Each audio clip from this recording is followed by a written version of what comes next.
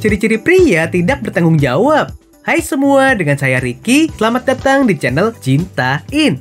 Salah satu kriteria utama dalam pencarian pasangan idaman adalah sosok yang bertanggung jawab. Saat kita bisa menghabiskan hidup kita dengan seseorang yang bertanggung jawab, kita akan merasa lebih tenang, nyaman, dan juga damai. Umumnya tanggung jawab seseorang bisa dilihat dari caranya bersikap. Sebelum kamu termakan janji manisnya, berikut adalah 10 ciri-ciri pria tidak bertanggung jawab.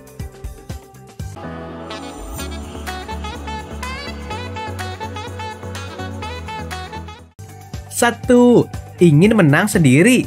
Ciri pertama dari pria yang tidak bertanggung jawab adalah tidak pernah mau repot. Biasanya dia selalu ingin menang sendiri, walaupun caranya bisa merugikan sekitar atau membuat orang lain merasa tidak nyaman. Dia akan menutup telinga dan mata karena yang terpenting, dia bisa mendapatkan apa pun yang dia mau. Pria yang bertanggung jawab umumnya selalu mempertimbangkan baik buruknya suatu keputusan. Apakah keputusan tersebut bisa merugikan orang lain? Setiap langkahnya pasti merupakan hasil dari pemikiran yang matang. 2. Sok tahu dan sok bisa segalanya. Pria yang sok tahu, duh pengen langsung diceburin ke laut aja deh. Apalagi kalau ia mengaku-ngaku bisa segalanya, tapi kenyataannya dia tidak bisa melakukan apa pun. Pria seperti ini kemungkinan bukanlah pria yang bertanggung jawab. Dia tidak bertanggung jawab dengan apa yang diakuinya dan hanya mengutarakan kata-kata manis demi mencuri perhatian. Pria yang bertanggung jawab tak akan banyak bicara. Ia akan berkata jujur tentang apa yang ia bisa dan tidak bisa. Dia tidak akan sok pamer, apalagi berkata bisa semua hal hanya demi mendapatkan mendapatkan perhatian kamu. 3. Mempermalukanmu di depan banyak orang.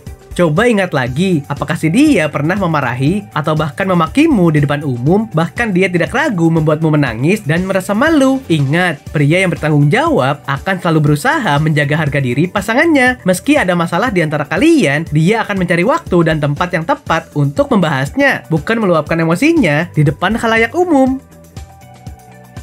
4. Selalu menyangkal.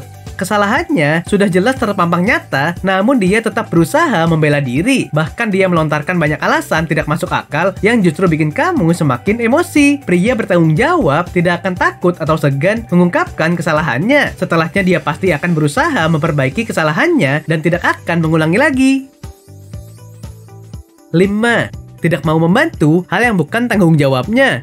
Ciri lain dari cowok yang tidak bertanggung jawab adalah kebiasaan buruknya untuk tidak mau membantu hal yang bukan tanggung jawab. Maksudnya adalah cowok tidak sering memikirkan untuk membantu orang lain walau dirinya sudah tercukupi kebutuhannya. Itulah mengapa perempuan diharapkan dapat memilih cowok yang tepat dari tingkah lakunya. 6. Merendahkan perempuan Pria yang sering menganggap perempuan lebih lemah kemampuannya daripada pria merupakan sosok cowok yang tidak ingin mempertanggungjawabkan kemampuannya untuk melindungi seorang perempuan. Jika memungkinkan, haruslah memilih cowok yang lebih menghargai perempuan sebagai wujud tanggung jawab dalam menjaga rumah tangga. 7. Sering menyalahkan orang lain. Dia memang tidak pernah mau disalahkan. Sebaliknya, dia akan mencari kambing hitam untuk jadi sasaran kesalahannya. Pahami bahwa pria yang bertanggung jawab akan berusaha untuk mencari solusi saat dihadapkan pada masalah. Dia tidak akan menyalahkan orang lain tanpa sebab, apalagi untuk sekedar meluapkan emosinya. 8.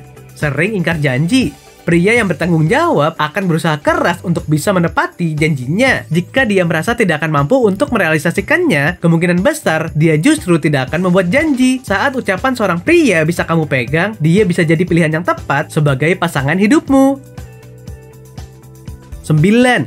Membesarkan hal kecil Selanjutnya adalah cowok sering mempermasalahkan hal-hal kecil yang harusnya mudah diselesaikan dan mengakibatkan adu pendapat. Permasalahan mengenai hal kecil ini tentu disebabkan oleh kebiasaan cowok untuk tidak mempertanggungjawabkan kebiasaannya.